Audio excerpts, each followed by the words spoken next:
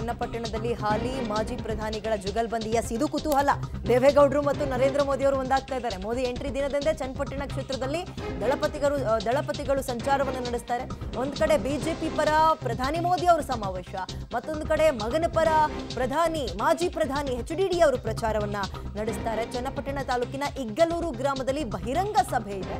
ಅತ್ತ ರಾಮನಗರ ಕ್ಷೇತ್ರದಲ್ಲಿ ಮಾಜಿ ಸಿಎಂ ಎಚ್ ಡಿ ಮತಬೇಟೆ. ಈಗ ಚನ್ನಪಟ್ಟಣ ಬಹಳ ಕುತೂಹಲ ಮೂಡಿಸ್ತಾ ಇದೆ. ಯಾವ ರೀತಿಯ ಜುಗಲ್ಬಂದಿ ಇರುತ್ತೆ ಅಂತ? ಹಾಗೆ ನೋಡೋದಾದ್ರೆ, ದೆಹಲಿಗೆಲ್ಲ ಹೋದಾಗ, ದೇವೇಗೌಡರು ಸಿಕ್ಕಿದಾಗ ಮೋದಿ ಅವರು ಅವ್ರನ್ನ ಚೆನ್ನ ಆತ್ಮೀಯತೆಯವಾಗಿ ಮಾತಾಡಿಸಿ, ಕೂರಿಸಿ ಒಂದು ಎಲ್ಲವನ್ನು ಮಾಡಿ ಕಳಿಸಿದ್ ನಾವು ನೋಡಿದ್ವಿ. ಬಟ್ ಅದು ಬೇರೆ, ಇದು ಬೇರೆ. ಇದು ರಾಜಕೀಯ, ಪ್ಯೂರ್ಲಿ ರಾಜಕೀಯ.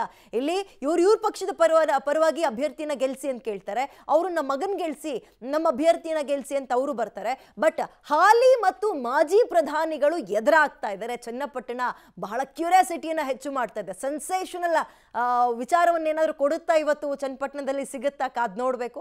ದೇವೇಗೌಡರು ಪಾಪ ಆರೋಗ್ಯದ ಸಮಸ್ಯೆಯ ನಡುವೆಯೂ ಕೂಡ ಮಗನ ಜೊತೆಗೆ ಸಾಥ್ ಕೊಡ್ತಾ ಇದ್ದಾರೆ. ಇವತ್ತು ಮಗನ ಕ್ಷೇತ್ರದಲ್ಲೂ ಕೂಡ ಪ್ರಚಾರದಲ್ಲಿ ತೊಡಗ್ತಾ ಇದ್ದಾರೆ.